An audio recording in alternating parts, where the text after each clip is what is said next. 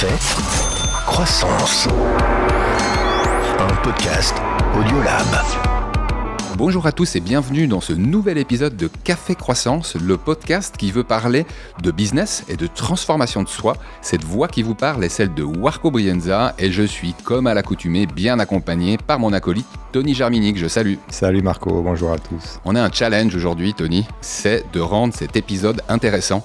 Je me suis fait une frayeur, hein. j'ai voulu m'inspirer, j'ai voulu m'inspirer de ce qui se faisait et mon Dieu, je me suis tellement ennuyé que j'espère que le salut, euh, on le trouvera en fait dans la relation client. Hein. pourquoi? Parce que le Customer Relationship Management, le CRM, bah, c'est un outil qui est apparu il y a une douzaine d'années et qui est censé soutenir euh, les services commerciaux et marketing dans la meilleure connaissance euh, du client et donc du coup dans la meilleure interaction possible avec lui.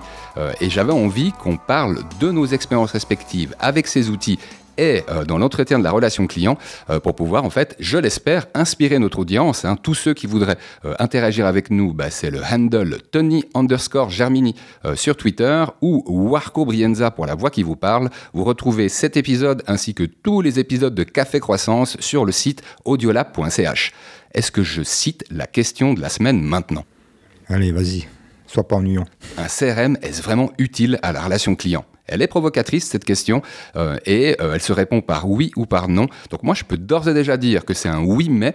Euh, mais avant cela, en fait, ce que je voulais, c'était rappeler qu'on aurait des digitales aujourd'hui. On va commencer avec ça, en fait. On va enchaîner avec deux digitales, et puis on retrouvera la section inspiration à la fin de ce podcast. Café Croissance. Est-ce que je te laisse la parole pour ta première digital alors, Digital, il y a une nouvelle que j'aimerais partager qui nous vient de, de pas très loin, de, de CNN, mais d'un deepfake qui s'est passé à Hong Kong. Donc imaginez-vous de vous retrouver dans une vidéoconférence avec vos collègues, apparemment vos collègues, en tout cas c'est ce qui est, ce qui, ce qui est arrivé à un, investisseur financier qui a fait une vidéoconférence avec son CFO à distance.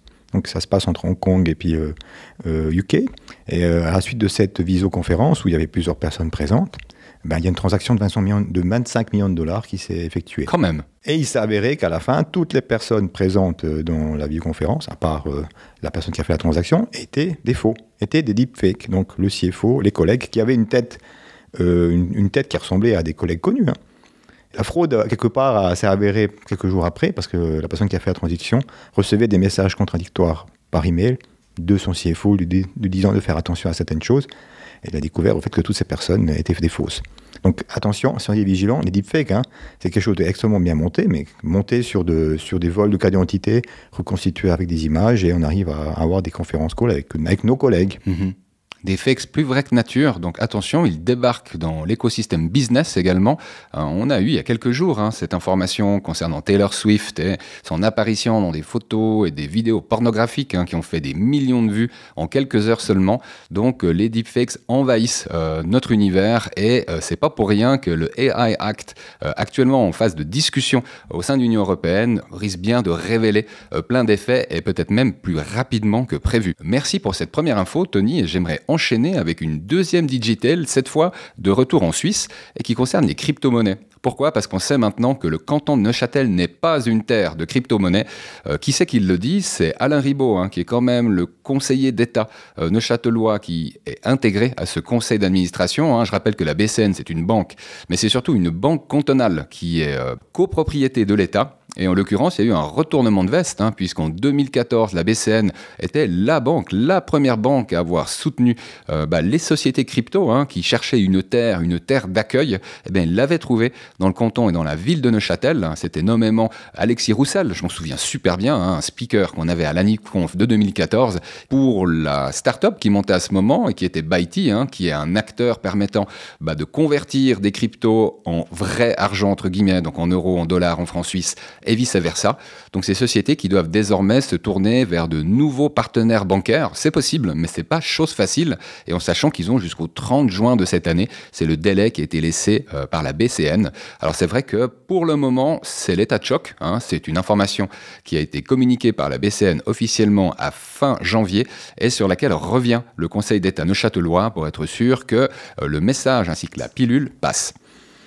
Bon, comme ça, vu l'extérieur, moi, ça m'étonne qu'à moitié. Hein. On parle bien d'une banque cantonale, Neuchâtel, donc c'est un canton d'une taille moyenne, respectable, hein, mais c'est banque cantonale qui a une vocation de soutenir la population, donc le tissu économique, c'est-à-dire les industries qui, elles, sûrement hein, ont, des intérêts à intégrer la blockchain, mais qui soutient aussi la population. Donc à la terme, Peut-être que c'est une décision aussi, euh, comment dire, bien réfléchie. Hein. Ce n'est pas le but d'une banque cantonale de se lancer de ce genre d'aventure. Permets-moi de citer justement Alain Ribaud, là, qui, euh, qui serait très d'accord avec ce que tu viens de dire. Hein. Donc je cite Ce qui a toujours intéressé Neuchâtel, ce sont les applications industrielles que peut offrir cette technologie à laquelle est rattachée la blockchain.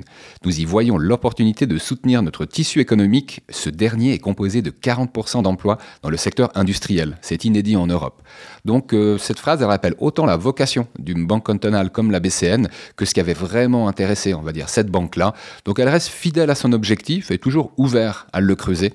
Euh, une affaire à suivre et que moi je compte bien suivre euh, dans les mois à venir. Donc on vous en reparle très certainement euh, jusqu'à l'été. Café, croissance. Est-ce qu'on enchaîne avec la question hein, La question de la semaine, j'ai envie de la la rappeler. Hein, un CRM est vraiment utile à la relation client Et cette question, j'aime bien me dire que je vais l'aborder avec un baron de la relation client qui plus est euh, m'a sérieusement introduit dans la question du CRM, parce que moi j'estime avoir utilisé sérieusement un CRM à l'échelle d'une PME bah, depuis 5 ans, et c'est depuis en fait que tu m'y as introduit, euh, Tony. Donc euh, toi, tu répondrais quoi à cette question Un CRM, est-ce que ça a vraiment été utile pour entretenir tes relations clients? Le jour où tu viens baron, euh, c'est une situation post-mortem, en fait. Donc, je dis juste qu'il faut être humble dans la relation client. Hein. C'est pas parce qu'on a eu du succès hier que demain on va avoir du succès. Tu fais bien de le rappeler. Et puis la relation client, c'est un, c'est un outil, c'est un compagnon qui nous aide à être performant qui nous, qui nous rappelle certaines étapes qu'il ne faut pas sauter et pas oublier. Donc c'est plutôt dans ce sens-là que moi je le vois, ce CRM. C'est un, vrai accompagnement de la démarche commerciale. Mhm. Tu sais, moi, à cette question-là, euh, je répondrais un oui, mais. Hein. Est-ce que le CRM a vraiment été utile à entretenir ou à accélérer mes relations clients? Je répondrais oui, euh, au sens où, effectivement, c'est une béquille digitale, un compagnon digital qui me permet d'avancer à la fois plus vite et plus longtemps. Par contre, ce sera un oui, mais Quoique, hein, c'est un oui et. Euh, il faut suivre euh, des conditions. J'ai envie de poser quatre règles d'or hein, que j'avais envie de discuter avec toi. Euh, j'y ajouterai deux bonus. Hein. Une fois qu'on est installé avec un CRM, il y a deux trucs qui vaut vraiment la peine de faire. Mais tu sais, le premier point, c'est fix the basics. pour le résumer, c'est avoir des fiches clients qui soient à jour. C'est-à-dire, on renseigne, on renseigne de manière aussi complète que possible et on met à jour, on met à jour régulièrement. J'ai envie de vous dire, à ceux qui se posent la question, qu'est-ce que c'est que régulièrement? Pour moi, quand on est dans une équipe donc il y a plusieurs vendeurs, qu'il y a peut-être quelqu'un qui gère la partie administrative en lien avec les affaires. Euh, je pense que dans ce cas-là, une mise à jour hebdomadaire, c'est quelque chose qui me paraît la recommandation, pour pas dire nécessaire. Je sais pas ce que tu en penses, toi, Tony. J'allais le dire avant, effectivement, il faut qu'il y ait plusieurs personnes qui interagissent. Donc, euh, mais ça ne veut pas dire que tout seul, on ne peut pas s'équiper d'un CRM, en tout cas d'une méthode. On parle aussi d'une méthode, hein, d'une méthode de suivi client. Et puis, on ne parle pas que des clients. Moi, je dirais que c'est des fiches contacts. C'est des fiches de contact. C'est une relation avec une personne qui est un contact, qui s'avère peut-être dans la relation, devient un client, un prospect, un ancien client, un nouveau prospect. Euh, sur certaines activités, effectivement, ça doit se faire régulièrement. Hein. Après, voilà, hebdomadairement, chaque deux semaines.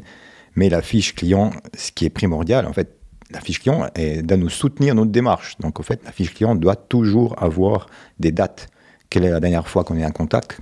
Qu'est-ce qu'on a dit dans ce contact-là Et quelle est la prochaine étape Mhm. Et quelle est la date de la prochaine étape Basique. Mhm. Tu fais déjà plusieurs liens très intéressants avec ce que tu dis. Alors le premier, tu confirmes hein, que remplir une fiche et la mettre à jour, c'est essentiel. C'est essentiel euh, également sur les contacts qu'on a générés. Là, tu m'amènes en fait déjà à ma deuxième mhm. condition, à ma deuxième règle d'or, Tony. C'est pas tout de savoir comment s'appelle, nom, prénom, téléphone, téléphone direct, hein, email personnel, euh, adresse du bureau. Des fois, ils sont multisites, donc avoir l'adresse de son bureau à lui. Euh, tout ça, c'est des éléments, c'est la base. Hein, sans ça, en fait, on ne fait rien du tout. Euh, mais j'inclus, en fait, dans cette mise à jour régulière, tous les contacts le téléphone, l'email. Euh, il y a de nombreux CRM qui permettent d'enregistrer les échanges email. C'est ensuite des échanges qui peuvent être parcourus par vos soins six mois après, mais également dans la même semaine, par exemple, par votre assistante ou par la personne qui s'occupe de faire les factures. Donc ces mises à jour, elles me paraissent essentielles euh, à réaliser chaque semaine, mais c'est pour une raison que j'ai pas encore citée, c'est si vous avez vos objectifs commerciaux et financiers à réaliser qui sont dans l'outil. Les outils CRM, choisissez le bon. Hein. Enfin, après, on va en parler d'un autre qu'on a choisi nous. Moi, quand je fais un appel avec un contact qui est dans le CRM, je fais l'appel depuis le CRM. Mhm. Comme ça, le CRM note l'appel, la durée, et puis moi, je peux commenter. Ça me fait gagner du temps. Et après, le CRM me dit, OK, qu'est-ce que, tu veux que je fasse avec ce contact? Je dois le rappeler dans trois semaines. C'est noté, c'est fait. Je passe au prochain. Dans trois semaines, le CRM va m'en rappeler. Mhm. Il faut une certaine discipline. hein. Il faut cette discipline de savoir toujours appeler depuis l'application du CRM. Il ne faut pas oublier. Il faut avoir toujours cette euh, un motivation à penser à l'étape d'après, à la formaliser. Mais j'ai envie de vous dire, c'est des habitudes. hein. C'est comme l'hygiène de vie. Une fois qu'on a commencé, on s'en passe plus. C'est le mot clé, discipline. Sans discipline, sans préparation, vous connaissez déjà la suite. On n'arrive à rien. Ouais, il faut toujours faire super gaffe. hein. Moi, on n'arrête pas de me dire qu'on n'aime pas quand je lis le mot discipline, bien que ce soit un de mes mots, euh, un de mes mots fétiches. La rigueur, si tu veux. Mais... Ouais, bon. Là, si tu me dis encore spartiate, je me dis qu'on a un, on a un trio gagnant. Euh, N'ayez pas peur de ce mot, la discipline. Pensez à tous ceux qui aiment l'hygiène de vie. Je pense que c'est de ce type d'efforts-là dont on parle. Ces efforts que vous voulez faire pour arriver plus loin, pour arriver plus haut. Et je dis avant, c'est- un compagnon. Ça nous aide à mettre en place des routines. Une fois qu'on a réussi à mettre en place des routines, ça ne devient plus une charge mentale. Mhm. Parce qu'on on va le faire, ça fait partie de notre vie, de notre quotidien. Tu citais avant les objectifs, hein, le troisième point. Super important. Les objectifs, ils sont liés bien sûr avec un objectif global. Ils sont liés aussi avec des objectifs trimestriaux, annuels, euh, personnels. Mais ces objectifs, ils nous permettent de donner une vision euh, aux sphères supérieures, en tout cas euh, au niveau stratégique et au niveau de la gouvernance, mais ça donne aussi un objectif de où est-ce qu'on est dans notre avancement. Si on a un objectif de X et puis au fait on se rend compte après trois mois qu'on a, on a la moitié, euh, il, faut être, enfin, il faut être réaliste. On ne va pas atteindre l'objectif parce qu'on est en retard, donc il faut le revoir. Ou au contraire, l'objectif, il faut qu'on on- on mette un petit peu les gaz pour rattraper le retard. Que je parle de contact client, de qualification, de nombre de rendez-vous. On revient de nouveau au mot discipline. Mhm. Mais c'est vraiment un outil, un accompagnement pour nous aider à atteindre nos objectifs. Ouais. Euh, au mot discipline, moi j'ajouterais le mot projection, hein, parce que avec les objectifs, c'est de projection dont on parle également. Et tu l'as dit, hein, l'autre mot clé qui me vient avec euh, le mot objectif, c'est le mot suivi. Euh, pour être un peu plus concret peut-être sur ce point-là, parce qu'il est vraiment important, j'ai vraiment envie que vous le compreniez. Euh, admettons qu'on ait décidé de faire un objectif annuel en termes de chiffre d'affaires de 3 millions. Voilà, ce 3 millions de chiffre d'affaires, bah, c'est au 31-12 de cette année, donc 2024, qu'on doit l'avoir atteint en termes de facturé. Euh, quand on fait les, choses bien, hein, comme on le fait par exemple dans ta société chez Calypse, on se dit effectivement que ce 3 millions, on va le ventiler sur les 4 trimestres. Euh, typiquement, ça ferait, mon Dieu, 1,5 million, 750 000, ça ferait 750 000 francs par trimestre en moyenne, mais en sachant que bah, on a des trimestres qui sont plus forts que les autres. Allez, je dis n'importe quoi, mettons que sur le premier trimestre 2024, grosso modo, on a envie de réaliser 500 000 francs de chiffre d'affaires, le suivant euh, 1 million, euh, et puis la même chose sur le deuxième semestre qui nous amène à ces 3 millions. Donc là, on a une ventilation par trimestre, mais on n'a pas encore la ventilation par client. Et effectivement, dans le CRM, ce qu'il est possible de faire, c'est de poser une première ventilation euh, qui vous amène à un chiffre à atteindre chaque trimestre, puis chaque mois. Et soyons fous, hein, si vous avez plusieurs types, plusieurs segments clients, euh, vous pouvez déterminer qu'avec euh, typiquement ton offre santé, hein, tu as toute une offre data euh, pour le secteur de la santé, eh ben, tu poses à l'échelle d'un mois, d'un trimestre et d'une année le chiffre d'affaires que tu souhaites atteindre. Et ensuite, il s'agira de comparer bah, les, pistes en cours hein, et la valeur de ces pistes, le niveau de qualification de ces pistes qui en fait donne un pourcentage de valeur euh, au montant que vous avez estimé. Euh, si ce deal il est effectivement signé.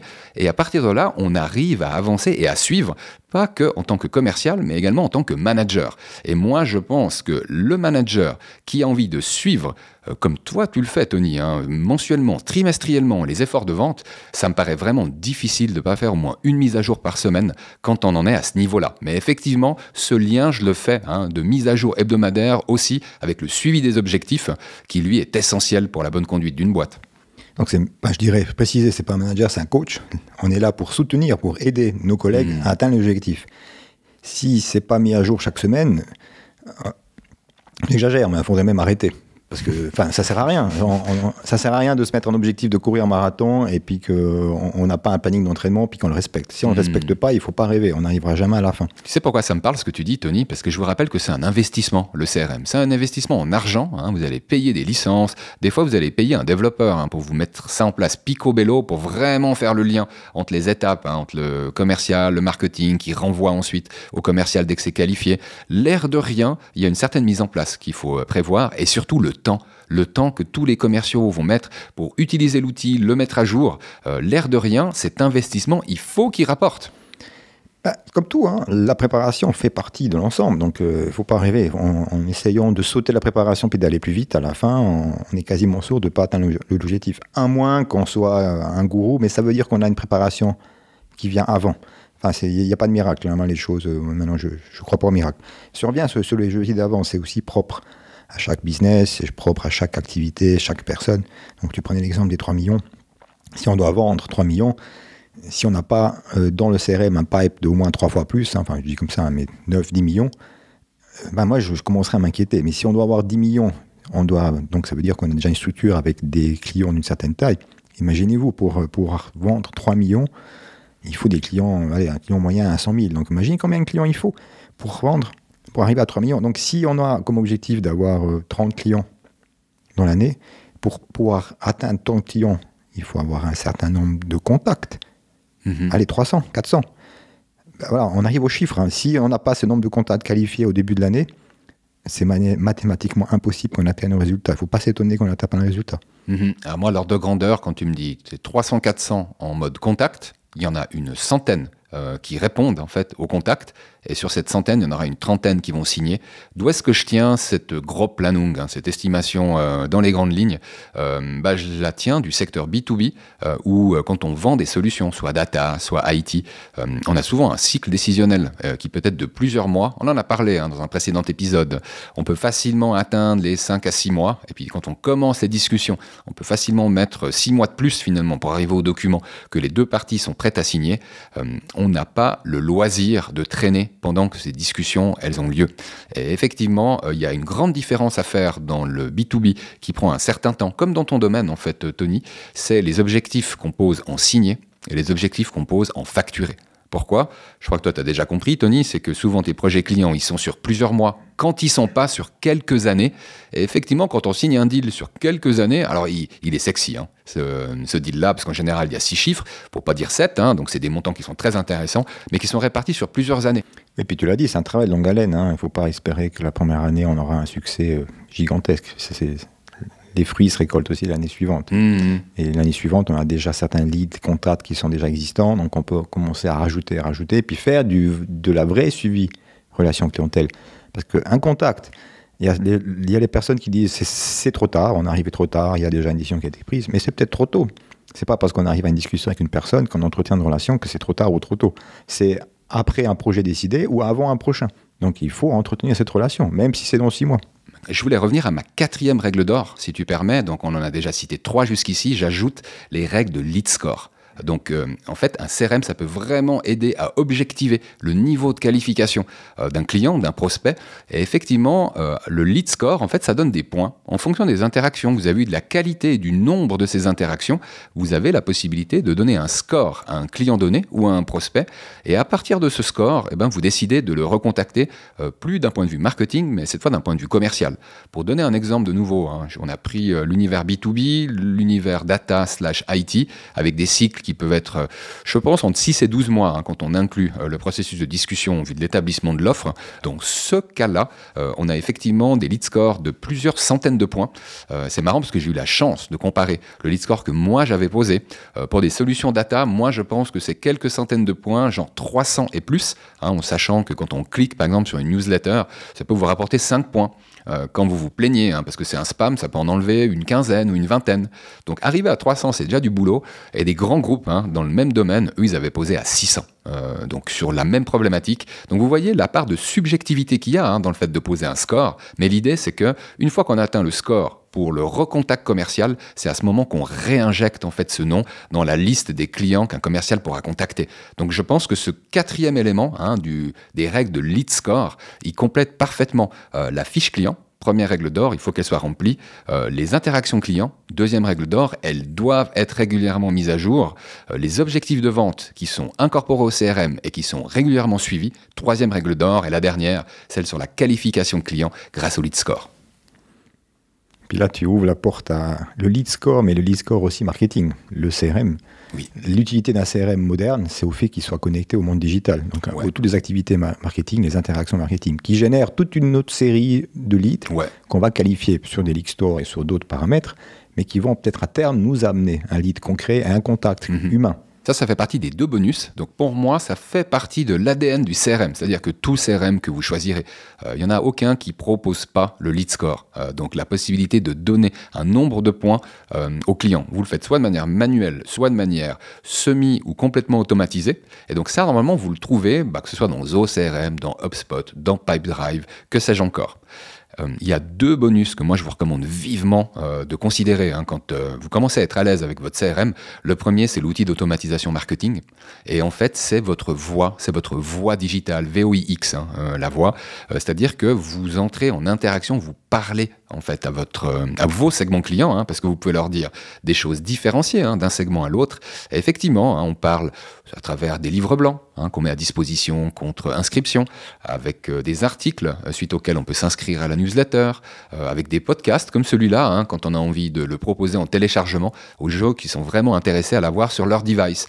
Ces inscriptions-là, elles donnent des points elles permettent de rester en contact avec les clients. elles permettent surtout de mieux le comprendre pour ensuite lui proposer des contenus qui matchent encore mieux avec ce qu'il a envie de lire, ce qu'il a envie d'écouter, ce qu'il a envie de voir. Donc cet outil d'automatisation marketing, c'est vraiment le micro que vous avez face aux clients que vous avez déjà identifiés. Et moi, je vous recommande vivement parce que euh, on peut avoir un bon outil d'automatisation marketing pour quelques dizaines de francs ou euros par mois. J'adore t'entendre parce que là, on sent, on sent le, comment dire, l'expérience réelle qu'on vient de vivre ces derniers, ces derniers mois, années. C'est exactement sur ça qu'on s'est concentré. Mais il ne faut pas sauter des étapes. Hein. Il ne faut pas espérer mettre en place un outil d'automatisation marketing sans avoir fait les étapes précédentes. CRM d'abord Le CRM doit être intégré aussi à l'opérationnel. Il ne faut pas dissocier le monde de la vente, de la prospection, après au monde de, de la suite, de l'implémentation, mmh. de l'intégration. Donc il faut que les interactions avec les clients, que ce soit des demandes de support, de problèmes ou de succès, elles soient aussi quelque part reliées d'une façon ou d'une autre au CRM, parce que la personne qui est responsable du développement commercial doit avoir ces informations, parce qu'elles vont pouvoir permettre de consolider la relation. Moi, je dis à chaque fois qu'il y a un problème chez un client, c'est une opportunité de faire une nouvelle affaire. J'adore. Peut-être que sur le moment, c'est pas agréable, mais à la fin, si on arrive à résoudre ce problème, on arrive à autre chose. On renforce, on renforce la solution. Ça revient un petit peu sur ton montra du nom là. Mm-hmm. Moi, je dirais même plus, un client, c'est un prospect à vie. Donc, il ne faut pas le considérer acquis. Après, on peut faire des relations sur la vie, euh, sur la vie, euh, on dit privée. Je vois très bien ce que ça veut dire. Il faut toujours, on y met, euh, alimenter la flamme. Et il y a encore un autre élément, c'est faire ce lien avec les collègues, les collègues qui alimentent les informations. S'ils vont faire des rendez-vous chez les clients pour un projet, qui mettent aussi des notes. Puis ces notes-là soient remontées au niveau commercial. Parce que des fois, les personnes ne peuvent pas se parler. C'est des très bons points que tu mentionnes. Et tu sais, le point sur euh, ce qui se passe avec le client une fois qu'il a signé, euh, tu me rappelles le deuxième bonus qu'on voulait citer, euh, l'outil de ticketing. En fait, toutes ces suites de solutions, elles proposent toutes, ou quasiment toutes, une solution de ticketing. Alors, soit pour les cas support, soit pour les suivis de projets clients. Imaginez hein, vos coéquipiers, peut-être plus du côté support, donc service ou technique, hein, développement, bah, ils auront des interactions directes avec vos clients, ceux que vous, vous avez trouvés en tant que commercial, ou ceux que vous, vous avez nourri euh, comme prospect euh, en tant que marketeur. Et euh, à partir de là, il y a un petit bout d'histoire qui se passe sans que vous, vous soyez directement informé. imaginez que ces interactions de ticketing, que ce soit pour le support ou le suivi de projet, ça vous amène des informations. Hein. La relation client, elle peut tenir sur plusieurs années.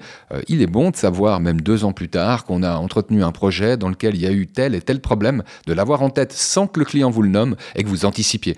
J'ai vu trop de cas où en fait le client, lui, garde bien mémoire. Le petit pépin qu'il y a eu, il le garde en mémoire aussi pour vous taquiner un peu, hein, peut-être sur le prix. Et en l'occurrence, c'est autant d'éléments que vous pouvez déjouer si vous, vous êtes bien préparé et en amont bien informé. Ce qui nous amène à un troisième bonus, hein, surprise, c'est le NPS, le Net Promoter Score.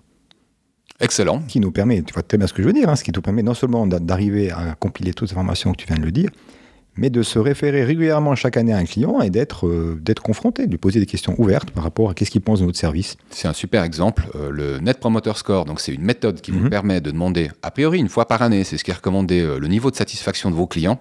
dans une majorité des outils d'automatisation marketing, vous avez la possibilité de générer un sondage. Ce sondage, vous le générez comme contenu et vous le partagez soit avec tout, soit avec une partie de vos clients. du moment qu'ils remplissent, tac, vous savez qui a rempli, vous savez quels sont les résultats et franchement, il n'y a rien de mieux que de commencer euh, un contact avec le client en parcourant c'est quoi son Net Promoter Score. si vous savez qu'il est mécontent, vous n'allez pas commencer votre intro téléphonique de la même manière que s'il est enchanté et qu'il vous a mis un score de 8,5 ou de 9 sur 10. Donc c'est un très bon point. Je pense que c'est une illustration de ce que vous pouvez faire en termes de relation client à travers un outil comme le CRM. Vous pouvez systématiser cette approche, garder la trace et ensuite à votre collègue euh, donc du, commerce, hein, alors que vous, vous êtes dans le marketing, c'est vous qui avez envoyé ce sondage, ben lui, il a l'info au moment où il contacte le client. C'est pas un exemple magnifique, ça? Puis on arrive au fameux sac vertueux du du nos problèmes, nos business et nos business, nos problèmes. tu vois, on est les rois de la citation là. Aujourd'hui, euh, j'ai 10 en off à tonique. J'avais un petit peu séché sur la citation. Vous en aurez quand même une bonne, mais si on s'était écouté pendant l'épisode, Tony, on les aurait eu nos citations. Ah non, puis on en a forcément d'autres encore qui vont arriver. Excellent. Tu sais, là, on a déjà pas mal parlé de CRM, on aurait tant de choses à dire. Euh, moi, je propose qu'on glisse encore quelques liens sur la suite mhm. nous, on a utilisé, hein, qui s'appelle Zoho CRM, Zoho Marketing Plus. Donc, on mettra ces liens. Euh, s'il y en a qui sont curieux euh, par rapport à cette suite, vous savez quoi? Posez-nous des questions. Mhm. Parce que nous, ce qu'on s'est dit, c'est qu'on n'allait pas vous tanner avec deux épisodes sur le CRM, on va en faire qu'un seul. Mais par contre, vu qu'on en fait qu'un seul, on peut pas parler de tout. Donc euh, signalez-nous si on n'a pas suffisamment creusé euh, les solutions, parce que je trouve que les solutions, elles se ressemblent beaucoup de l'une à l'autre, mais on en citera quand même celles où on en sait un petit peu plus, hein, entre Zoho CRM et Zoho Marketing Plus. Euh, moi, ce que j'avais envie là, c'était qu'on respire un bon coup. Café. Et qu'on s'inspire. Croissance pour cette section inspiration, hein, une section inspiration fort appréciée par notre audience et euh, qui vous amène un petit peu en dehors du business, quoique on s'en éloigne pas trop. On commence par une expo. Hein avec un arrêt sur image en mouvement. Hein, c'est un titre que j'ai trouvé joli pour présenter la biennale de l'image en mouvement, la BIM, au Centre d'art contemporain à Genève. Euh, j'ai mis l'article à scanner euh, pour ceux qui voudraient en savoir plus parce que j'ai été enchanté par les images que j'ai, trouvées. Euh, l'idée, c'est qu'il y a effectivement en deux ans le temps de trouver tous les artistes à l'échelle du monde hein, qui se posent bah, des grandes questions et qui mettent les réponses qu'ils souhaitent apporter en images. Ce que je pourrais vous résumer de ce que j'ai vu serait en dessous euh, bah, de l'expérience que vous pourriez vivre. Donc je vais simplement vous mettre en lien euh, la Biennale de l'image en mouvement. c'est quelque chose qui a lieu, alors je n'ai pas noté la date, mais je me souviens que c'était jusqu'en mai. Donc vous avez le temps de voir venir. Et puis bah, toutes les informations que vous retrouverez sur la page de Café Croissance sur audiolab.ch. Alors là, j'avais envie de vous parler d'un projet d'Audiolab. Alors là, c'est nouveau, nouveau. Hein. Ce projet, il s'appelle Podcast FM et euh, l'association Audiolab a décidé bah, de lancer une radio dans laquelle on retrouverait les meilleurs podcasts en français. En fait, je me demande même pourquoi est-ce que euh, on l'a pas fait avant. Hein. En général, j'ai cherché un petit peu sur Internet. Euh, à ma connaissance, il n'y a pas de radio euh, qui prend en charge la curation, donc la sélection des meilleurs podcasts dans une langue et qui diffuse euh, podcasts sur les ondes de sa radio, et ce, 24 heures sur 24, 7 jours sur 7. L'idée, c'est quoi? C'est un chiffre, en fait, qui m'a amené à cette opportunité. En Suisse, mais je suis sûr qu'en France, c'est à, peu près équivalent, il y a plus de trois quarts des Suisses qui écoutent quotidiennement, encore au jour d'aujourd'hui. Hein. C'est des statistiques qui datent de 2021 ou 2022 donc assez récente, plus de trois quarts écoutent quotidiennement la radio au jour d'aujourd'hui. Alors que euh, les chiffres de podcast, ils sont en progression, mais on a un peu plus d'une personne sur quatre en Suisse qui écoute au moins occasionnellement le podcast. Et là, je me suis dit, mais tu sais quoi? En mettant les podcasts à la radio, ça fait que les trois quarts qui n'en ont pas encore écouté, bah, ils auront enfin la chance de le faire, hein, puisque eux, ils écoutent la radio. Et puis donc, euh, il commence par quoi ce projet? Il commence par euh, une une étape de crowdfunding euh, qu'on fait à travers l'opération Support Culture de la Migros. Donc la Migros, c'est le plus grand distributeur, euh, c'est un Leclerc suisse si vous voulez. Et puis elle met 6 millions de francs suisses sur la table pour euh, des milliers d'associations qui ont un projet, un projet à présenter. Ben, le projet qu'a l'association Audiolab, c'est Podcast FM. Dans une première étape, c'est une radio web avec tous les podcasts. Et dans une deuxième étape, et ça ce sera avant la fin 2024, c'est deux studios FM pour une radio FM à Lausanne et à Genève. Donc 30 euh, jours durant, vous écouterez les podcasts en tant que résident genevois et ou lausannois euh, chez vous, dans la voiture, euh, dans le train si vous vous baladez avec votre transistor, que sais-je encore. On va vous mettre la vidéo sur les notes d'audiolab.ch et bah, n'hésitez pas à nous soutenir, soit en faisant les courses à la Migros, soit en fait en nous disant que c'est super cool en mettant un petit like à notre vidéo YouTube. Toi, t'aimes bien, Tony, t'as levé ton pouce comme ça, quoi. Moi, je fais les deux. Là. Je fais un like euh, virtuel, un, un like réel, et puis je fais mes courses à la Miro. Donc, euh, je suis en train déjà de soutenir. Génial. Eh ben, tu sais quoi, je serais ravi que tu euh, tombes sur ces bons supports culture que tu ne dois pas oublier de demander à la caisse, parce que des fois, il y a des caissiers qui oublient, et puis bah, ça va durer euh, de mi-février, non, de tout début février, hein, ça a déjà commencé en fait, jusqu'à mi-avril. Donc on aura le temps d'en reparler peut-être un petit peu plus tard, euh, au printemps. La côte, enfin une des côtes, parce qu'aujourd'hui on a, on a excellé dans les côtes, mais il y en a une qui nous, qui nous tient à cœur, hein, Marco et moi, qui est un extrait du bréviaire de l'homme d'action. Donc je cite bien le bréviaire de l'homme d'action. Vous avez compris, on aime bien être dans l'action. Bréviaire de l'homme d'action de François Garagnon. Ce ne sont pas les doux rêveurs qui réussissent, mais les rêveurs purs et durs. Merci à François Garagnon pour euh, ce rappel. hein. C'est un rappel pour moi parce que j'adore cette phrase et parce que j'ai un petit peu séché. J'ai repris le bréviaire de l'homme d'action hein, en, bon commercial. Je m'estime en homme d'action.